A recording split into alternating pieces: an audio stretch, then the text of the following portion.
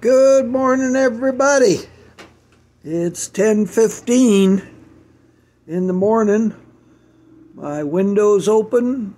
It's nice and warm outside. The fan's running on medium, and I got a hot cup of coffee. I've got an area, uh, area of scripture I'm going to read. First Timothy, the last chapter, 11 through 16, ends with Amen. Good confession is the title of this teaching. I think I can get it to you in seven minutes or less.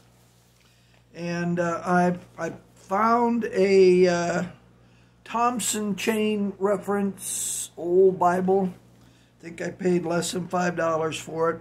It's a clean read. You can see I've only got one blue window marked up here for the teaching. 6.11 of 1 Timothy, if you're following me. But thou, O man or woman of God, must have a drink on that one. Coffee, French vanilla. What does this coffee cup say? Oh, life tree. Yeah, water of life, tree of life, book of life, eternal life, spirit of life, human life, likeness before image as spirit before word. That's a solid rock principle. All right? L means first, capital E, capital L with a singular dash underneath it. It's singular, first strong and almighty, but first is first.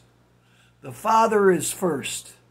Had a pastor this weekend say, the eternal Lord Jesus Christ, which is a true statement, but before the Son was the Father, El, Father. Father is first before the Son.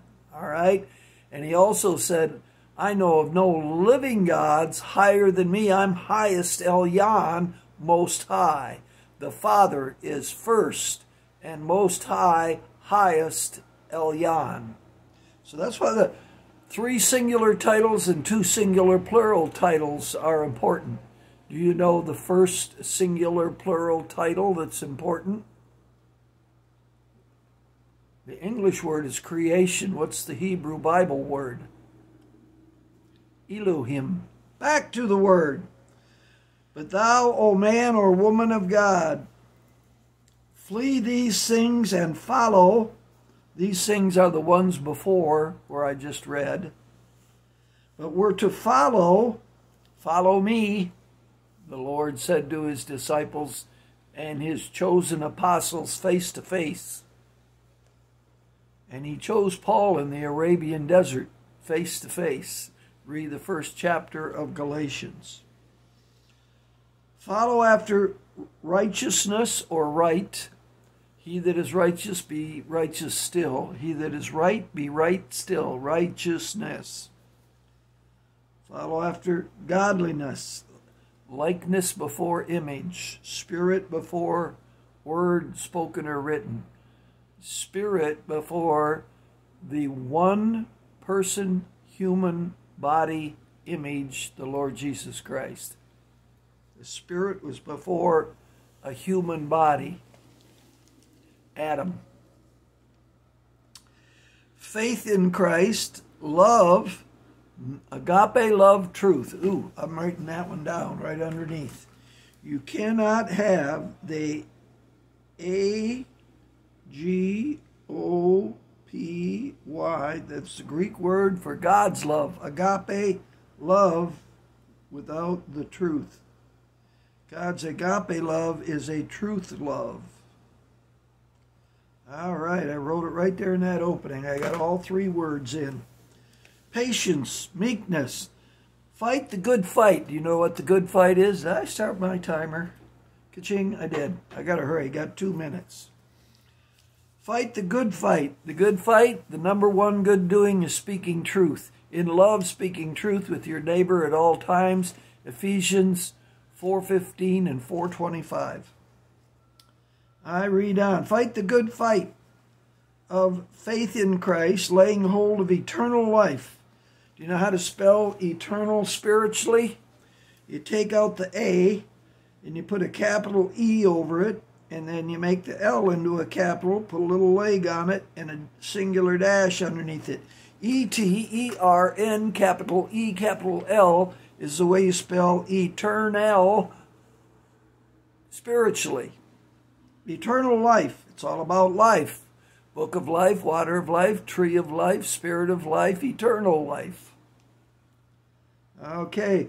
Whereunto thou art called and hast professed a good profession before many witnesses. I give thee charge in the sight of God, who quickeneth all things, and before Christ Jesus our Lord. Add Lord. Always give deity and say, Lord Jesus. You believe that Jesus is Lord, not that he's Savior. Romans 10 9. You believe and confess, have a witness and a testimony that Jesus is Lord. I'm telling you spiritual truth here. We got to get it right. The Christian church has got the cart before the horse. They got it all backwards. I love them dearly, but they don't have it right. They're preaching man centered, make money, control the masses, human minds in Christianity. All right? I'm not a Christian, I'm a Christ way believer. I follow the disciples, the beloved believers of the first group before and after the cross that loved Messiah, loved the Lord Jesus Christ. Here's a good one Christ Jesus, who before Pontius Pilate witnessed a good confession. What was the good confession? I know it by heart. Do you? What was the good confession that the Lord Jesus witnessed? I can get out in a couple minutes here. That's seven minutes. Witnessed before Pontius Pilate, the Roman governor, that gave permission to the chief priests, the scribes, and the Pharisees, the Jews, to execute or crucify the Lord. They had to get permission from the Roman governor and they forced the Roman governor to give him permission. He came out at least twice, maybe three times, at least twice. I find no fault in this man. What's going on? Speaking of the Lord Jesus Christ. But the Lord Jesus Christ said this, and you can read on down till you get to the Amen in verse 16. All right? The only potentate and King of Kings and Lord of Lords. We're talking about in the end of 14, the Lord Jesus Christ. Okay, and back up to 11, before Pontius Pilate, he witnessed a good confession. He said this, for this, for this I was born, the Lord speaking. I'm paraphrasing or quoting him. For this I was born. I left my world and realm, the spiritual world, came into your world and realm, the natural world, the human world, for this purpose. Okay? To bear witness to the truth. Those that are, and I'm adding a word, born of the truth, born of the Holy Spirit, sealed and born of the Spirit, are of the truth and hear my voice or my teachings, or hear the Holy Spirit today, the still small voice in your mind the quiet time thought in your mind from the Holy Spirit, the comforter and the teacher of truth.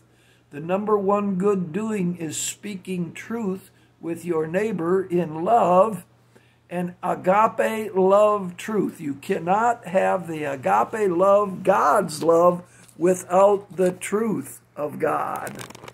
They go hand in hand together.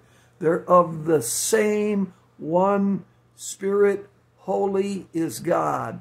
One Spirit, holy is God, the one God. Love you. Bye.